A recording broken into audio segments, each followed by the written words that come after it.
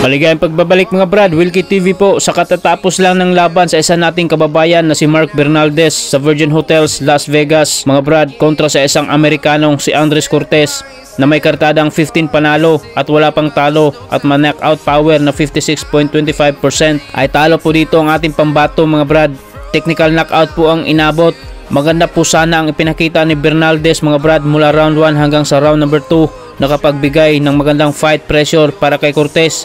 Nakapagpatama din ng mga malilinis na power shots. Subalit nang ito'y matsambahan ng isang pamatay suntok ni Cortez at sinabayan din ng pressure ay tila nahirapan itong maka-adjust mga brad.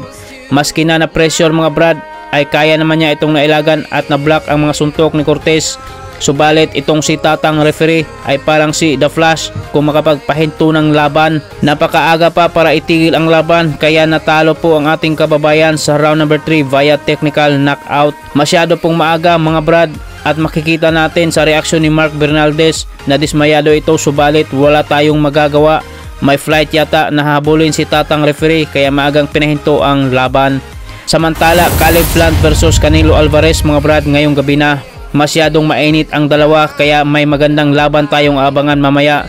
Labanan ng dalawang kampiyon, road to undisputed ito mga brad. Canelo Alvarez isang 4 division world champion ng WBA, WBC, WBO at the ring kontra kay Caleb Plant na IBF World Champion. Magiging madugo po ang maging laban mamaya mga brad. Pareho ang dalawa na 100% ang kondisyon Parehas ang dalawa na pasok sa tamang timbang. Parehas ding singtigas ng bato ang mga katawan nito. Kaya abangan natin mga brad.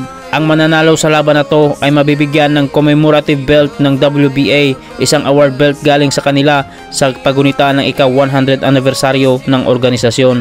Hanggang dito na lamang po tayo mga brad, huwag po ninyong kalimutang mag-subscribe sa ating channel Wilkie TV, ang nag-isang boxing channel na nauna sa tagay at huli sa balita. Maraming salamat po.